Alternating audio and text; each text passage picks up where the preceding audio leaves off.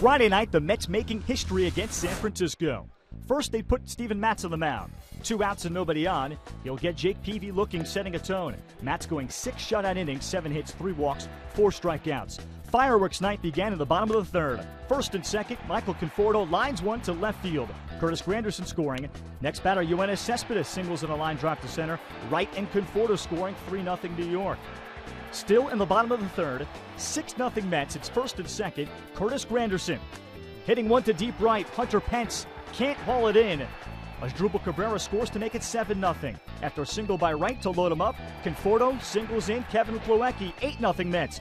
Then with the bases loaded, Yoenis Cespedes, a long ride and great history. It's a grand slam, giving the Mets a 12 run third inning. It's the most runs scored in an inning in franchise history. The Mets go on to take it 13 to 1.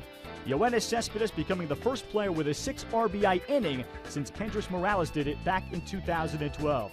It's the seventh straight win for New York. They've hit 10 home runs and scored 51 runs over that span.